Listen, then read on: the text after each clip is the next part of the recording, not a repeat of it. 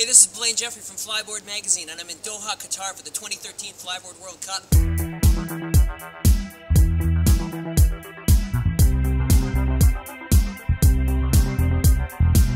I think you're the youngest competitor in the field. Uh, I think so, yeah. How old are you? 15. 15 years old.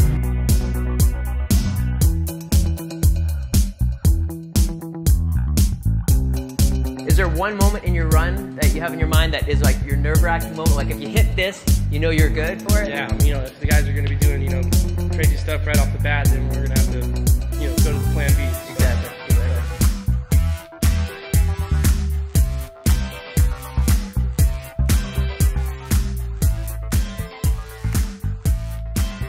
We've seen some incredible riding. We're just about to start the semifinals, and I want you to keep your eyes on Flyboard Magazine as we deliver all this great action over the coming months. We're going to cut together some great video, some great photos, and uh, and share all this amazing interviews and stories we've been capturing this week. So, uh, hope you're enjoying the World Cup coverage, and uh, we'll see you on Flyboard Magazine.